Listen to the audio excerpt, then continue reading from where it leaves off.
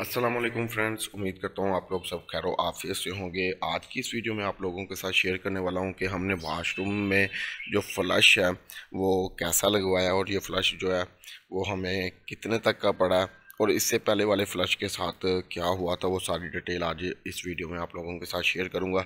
यहाँ पर सबसे पहले मैं आप लोगों को बताता चलूँ कि जो ये फ़्लश है तकरीबन, जो हम पहले लाए थे, इसी कलर में लाए थे। लेकिन वो हमने चेंज कर दिया था क्योंकि उसकी जो फिनिश थी वो सही तरीके से नहीं की गई थी।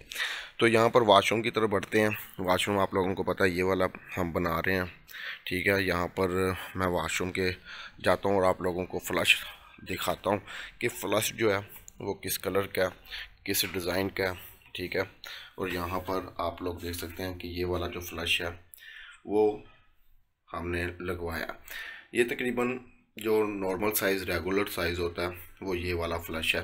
तो यहाँ पर आप लोगों ने जब भी फ्लश लगवाना है तो इसका जो लेवल है, वो आप लोगों ने लाजमी से चेकआउट करना है, क्योंकि अगर आप लोग लेवल चेकआउट नहीं करते तो बाद में जो है प्रॉब्लम हो सकती है। ठीक है, अब ये फ्लश जो है, वो कितने हज़ार तक का पड़ा, वो मैं आप लोगों को बताता हूँ। फ्रेंड्स जब हमने इसकी फ़र्स्ट टाइम कीमत पूछी तो वो हमें तकरीबन बाईस सौ रुपया बता रहा था, लेकिन जो फाइनल डन हुआ है, वो उन्नीस सौ रुपये में डन हुआ है फ्लश ये वाला। ठीक है? तो यहाँ पर आप लोग देख सकते हैं। ये जो फ्लश है, वो उन्नीस सौ रुपये में हम लेकर आए हैं।